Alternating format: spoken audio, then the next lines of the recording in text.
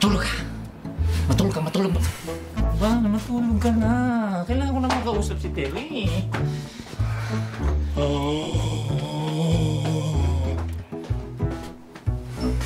Ipoy. Bakit di ka ba natutulog gabi-gabi na? Nakatargay ka pa dyan ng solo-solo mo. Kambal. Gusto mo ba? Pwede naman. Isa lang, ha? Damayang kita.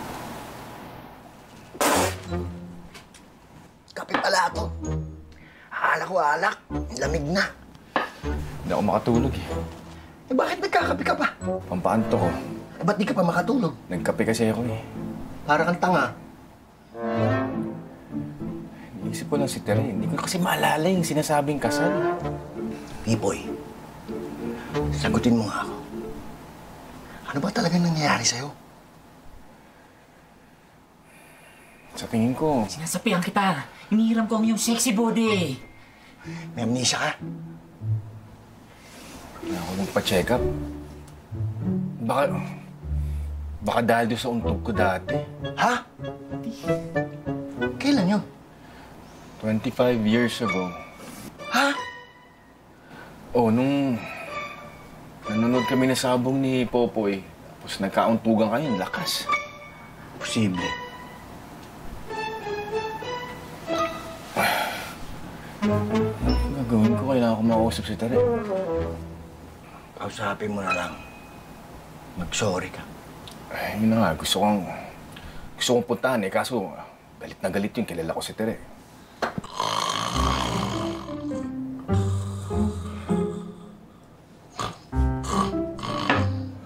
Ambal! Hindi siya na yata ako. Di. Huwag ka magpapaniwala dito kay Chip si Raulo yan. O, ga- ga- ganito yung nangyari. Ganito yung nangyari. Oh.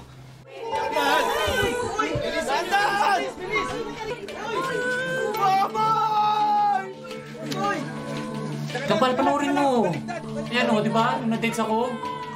Kaso, nasa It's Complicated Place pa ako ngayon. Kasi sabi ni gatekeeper, hindi pa raw ako pwedeng tumawid. Bakit?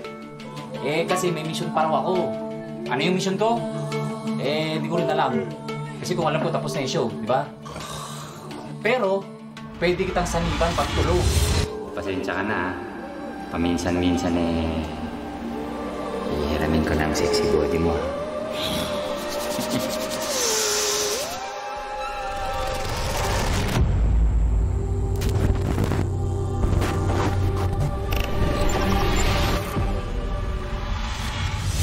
Siguro obvious naman tol kung bakit, di ba? Ayan, susum ko, susum ko. Yan! Look at my mall. Ito ang ating mutual friend and only connection. Awang mo lang siya, di ba? Kaya sabi ni gatekeeper, ito lang tanging dahilan kung bakit ikaw ang pwede kong saniban. Tsaka siyempre, kambal kita eh, may choice pa ako. Ikaw pa lang niya, alam mo nang loves na loves niya ako. Kaya palagay ko kambal, si Tere ang mission ko. Her happiness is my mission. Ang problema, pag nababasa ka tsaka naliligo ka, nawawala yung ko.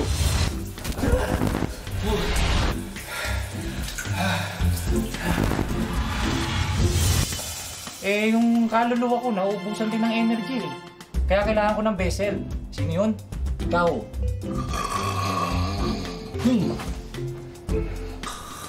Nandito ka na sana, Kambal. May papaliwanag mo sa akin lahat na nangyayari. Ito na nga pinapaliwanag ko na, oh. Ito yung guide ko habang nandito ako sa lupa. Yang, kambal, sige na. Gets mo na? Kambal! Amnesia na yata ako. Wala kang amnesia, kambal. May amnesia ako! Para kang tanga? May papa